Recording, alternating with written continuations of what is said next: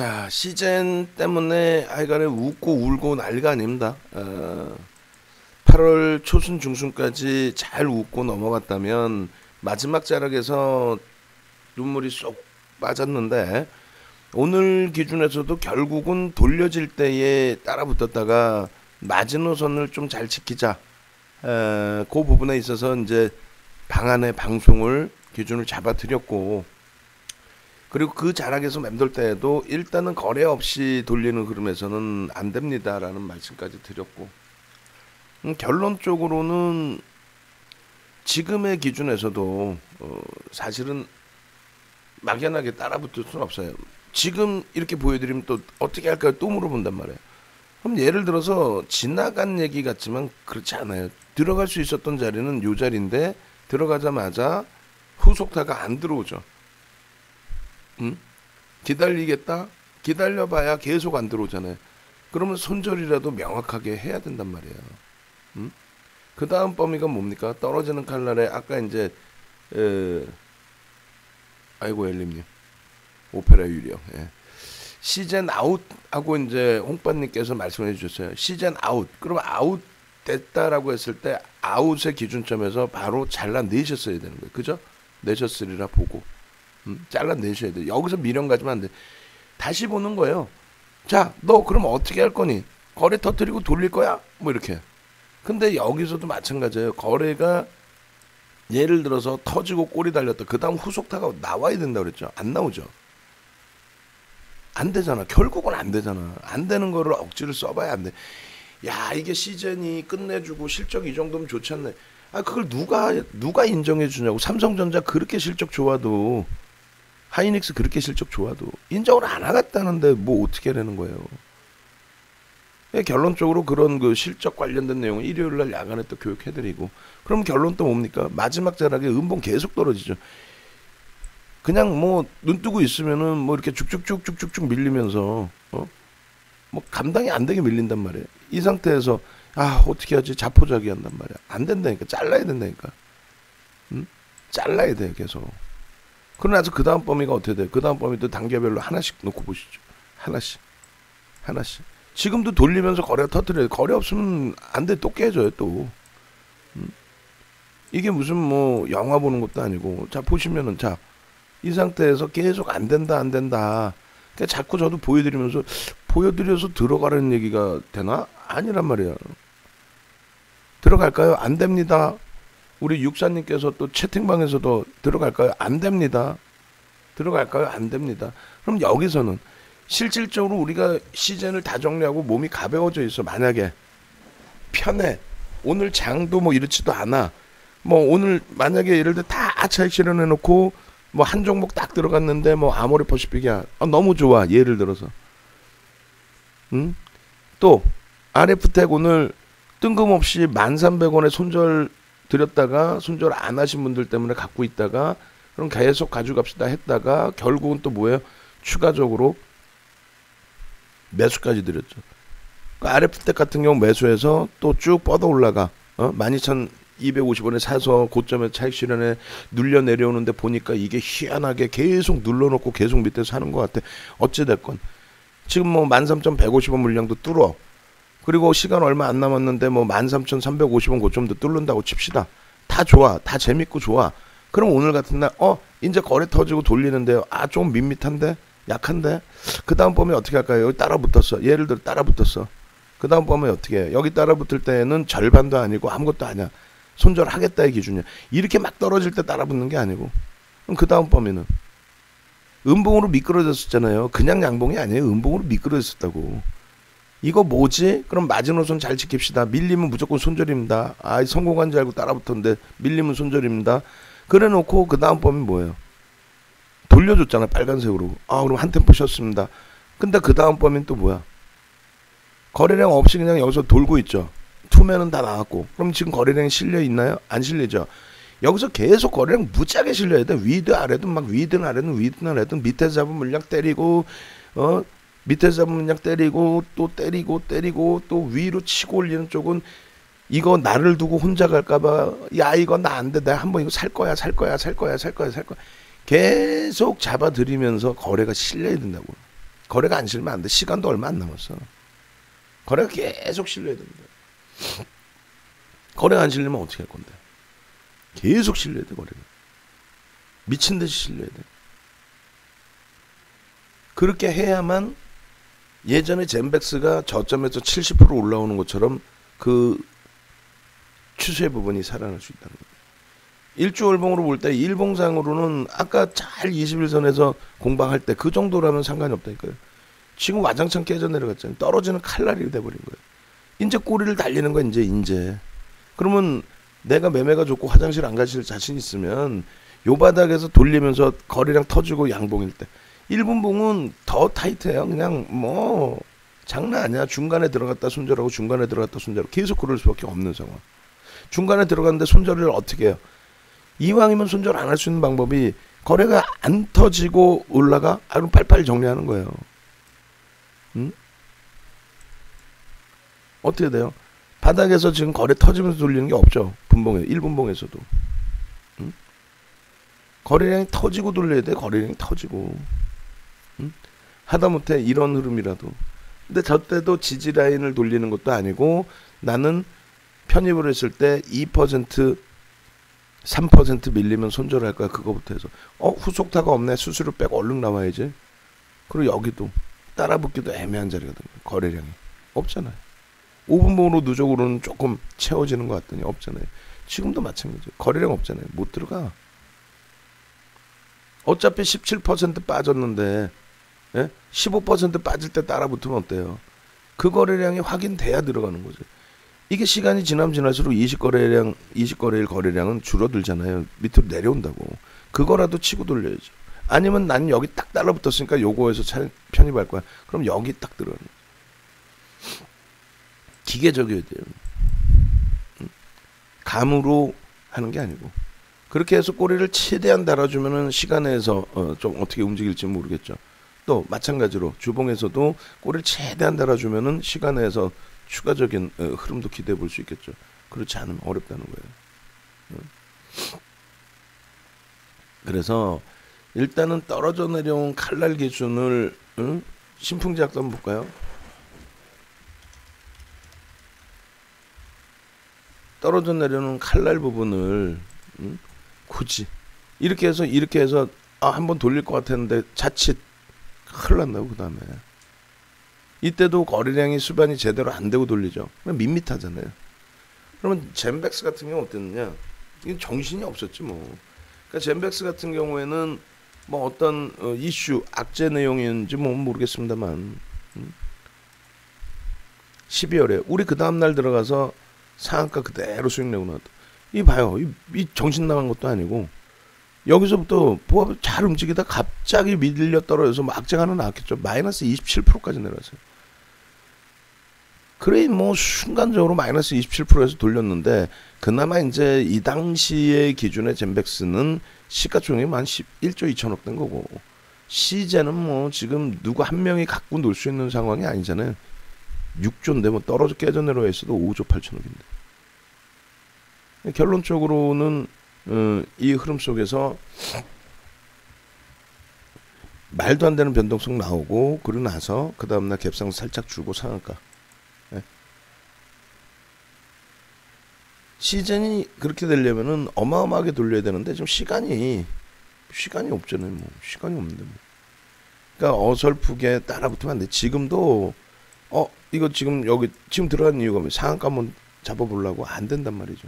20% 뭐 10% 돌리는 거 잡아보려고 안 된단 말이죠. 들어가려면 말 그대로 들어가는 건 상관이 없어요. 어디서 들어가느냐를 기준 잡고 거래량이 터지면서 돌리는 거 기준 잡고 거래량 터지면서 돌리는데 예, 손절 범위 명확하게 설정해 놓고 그렇게 돼야죠. 음.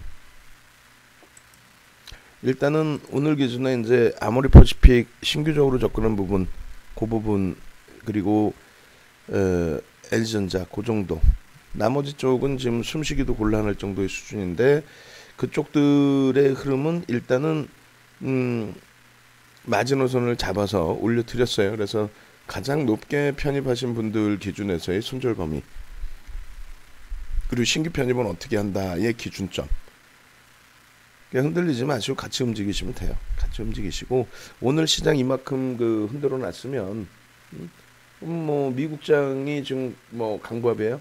그러니까 월요일 날 뭐 우리 휴장이고 그 불확실성 해소되고 나면은 크게 버거울 것 같지는 않습니다. 음.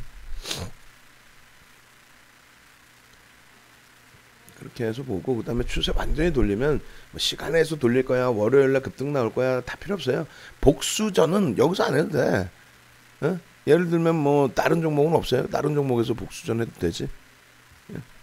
하다못해 뭐 뭐뭐 뭐 아래부터 다시 이제 고점 찍고 눌려 내려왔는데 13,350원 공방도 못 해보고 물량만 소진시켰어요 에, 그런 모양새면 별로 안 좋죠 음, 이왕이면은 종가를 꼬리 없이 달아 어, 꼬리 달지 말고 꼬리 없이 돌려놓으면 이런 경우에 여러분들이 물량이 있든 없든 상관없어요. 무슨 기준이냐면 물량이 있으시든 없으시든 상관없다라는 게 이런 쪽의 기준에 에, 어떻게 움직이는지만 들여다보고 알고. 음, 꼬리 달렸다 시간에서 들어올려야 되는데 못 돌려 그러면은 월요일 화요일 날 들여다보기 힘들지. 음, 누군가가 밑에서 받고 위에서 어, 물량 정리했다. 그럼 갑자기 물량이 튀어나와야 되는데 일단 먼저 쌓아놓고 밑에서 받았다는 거는 컨트롤할 수 있을 정도가 된다라는 거예요. 음. 그렇다면 얘도 뭐 들여다볼 수 있는 기준이 되고 시장 같은 경우에도 그 마지막까지 얘를 복수를 하고 싶다. 그러면 오기 부리셨다가 큰일 납니다. 감당할 수 있는 수준으로 놓고 보시는 거고 무조건 거래량 끝까지 거래량 죽으나 사나 거래량 아 그리고 좋은 종목 많은데 왜 여기서 수익 다 내고 다 했는데 마지막에 에, 여기서 음, 낭패를 보면 안 되잖아요. 나중에 들어오신 분들께는 수익도 못 내드리고 손절이어서 너무 죄송하지만 음, 위축되실 필요 없고 언제든지 들여다보고 대처할 수 있다. KNN 같은 경우도 원래 우리 관심 종목 중에 하나인데 얘 들어가면 얼마나 들어가겠어요. 시가총액 상한가 가서 3천억인데 응? 조금 전에 태민이님 살려주세요, 뭐 구해주세요 하셨는데 태민이님 혼자 들어가면 이거 어떻게 100만 주야. 태민이님 혼자 100만 주 사야 돼. 20억이면 100만 주 어디다 털어? 상한까지 털까 한 방에? 결국은 얼마 못 들어간다는 얘기에 들어가더라도 점진적으로 계속 고점 넘기죠. 고점 넘기는 종목 잡으면 되는 거야. 고점 넘기면. 넘겨라, 넘겨라, 계속 넘겨라, 고점을 넘겨라, 막 그러면서. 그리고 시젠 같은 경우에도 우리도 시젠을 상한가도 먹어봤어요. 예? 상한가 수익도 내봤고 어, 상한가 못 내봤나? 응? 20%는 수익 못 내봤어요. 이번에 올라올 때 20%씩도 들어 올렸지. 이날 얼마야? 22%. 이날 얼마야? 24%. 이날 수익 낼땐다 좋았잖아. 이거 수익 다 냈잖아요. 깨질 때도 마찬가지야. 근데 돌려. 막 돌려. 끝까지 돌려. 25만 원까지 돌려버려. 오늘 그냥 확 다. 응? 농담이 아니라 없으면 어때 물량. 그 정도로 돌리면 뭐예요? 야 이거 센데 월요일 날 갭상승 나와 따라 붙어도 되지. 그때는 단타 종목인 거예요. 그때는 스윙으로 들어와도 10% 미만인 거예요. 주력이 아니에요 이제는. 주력으로 가져갈 수 있을 만큼 아랫 방향의 변동성을 겪어낼 수 있어요. 감당할 수 있어요. 못하죠. 음.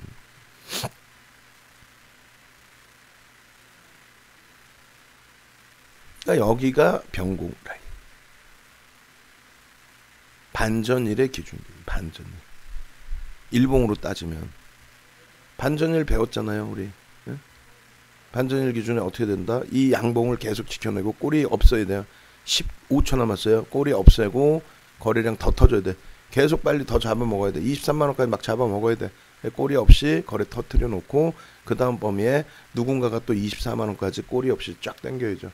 그래야 뭐 화요일 날 기대해 보는 거죠. 꼴이 이제 일단은 없어서 거래량은 일단 소폭이라도 붙여서 10만 주 사야지. 지금 23만 8천 주입니다. 프로그램 매수가 23만 8천 주. 누군가 죽어라고 사야지 10만 주. 그렇게 해서 얼마? 23만 5천 원, 24만 원까지. 못 땡기면 죽는 거지 뭐. 계속 땡겨 놓으면은 막 계속 땡겨 놨어. 그럼 시간에도 들릴 수, 들어 올릴 수 있어요.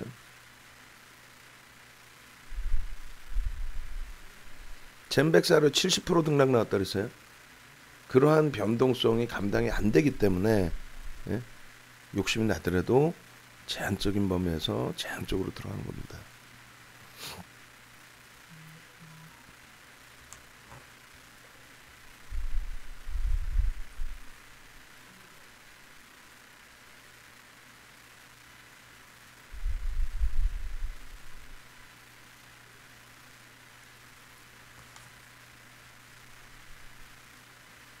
이제 많은 분들이 생각한다. 야 이때 들어왔으면 6% 먹을 텐데 자칫 잘못 들어왔으면 손절만 어마어마하죠.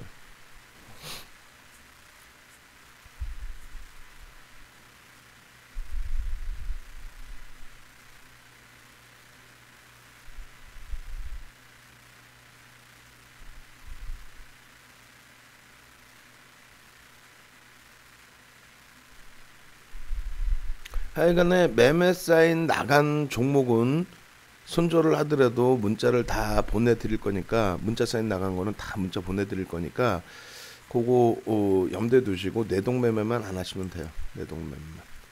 음.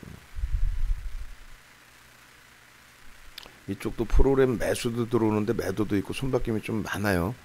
개인들 선호 창구의 매수는 제한적이기 때문에 어찌됐건 한 1%는 손바뀜 매수 유입돼 있다라고 치고 에코프로도 뭐 과도한데 거래량 자체는 100만 주 수준이라고 한다면 앞전 거래량에 못 미쳐요. 어, 그죠? 음. 아쉽지만 얘도 뭐 투건 들면 6%도 빌리는데 6%못 들어올릴까? 어. 고점은 어차피 다 넘길 수 있다 이렇게 말씀드렸어요.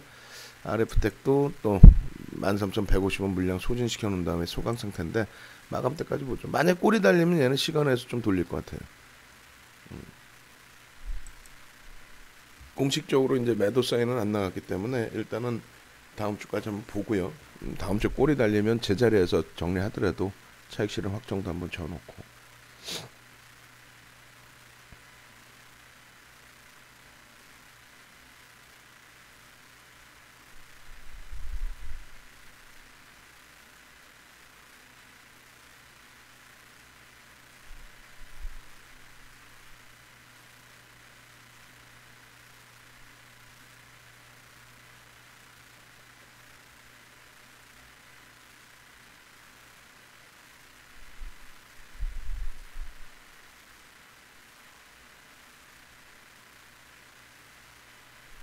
시제는 이제 뭐 털릴 쪽은 다 털렸다고 봐야죠. 그 새롭게 받아간 쪽이 이제 힘이 있느냐, 예. 시가총액을 감싸 안고 만들어 줄 수 있느냐.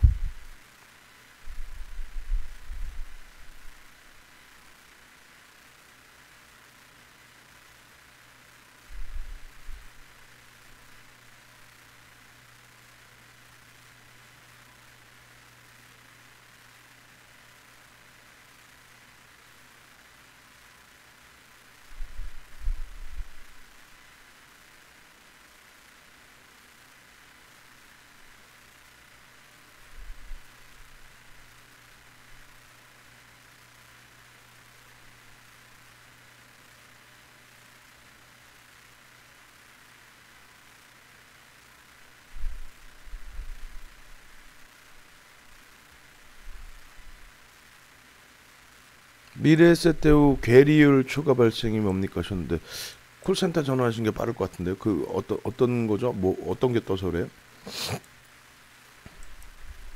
어디 있어요? 뭐 어떤 것 때문에 그러지?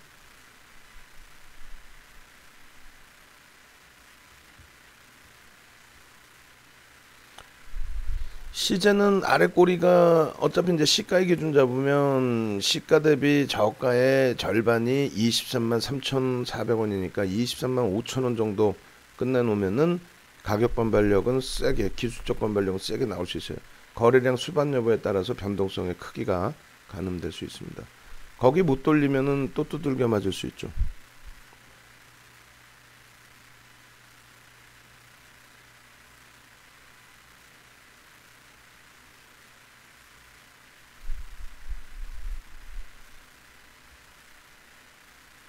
상장 지수 증권 계리율 그 뭐죠?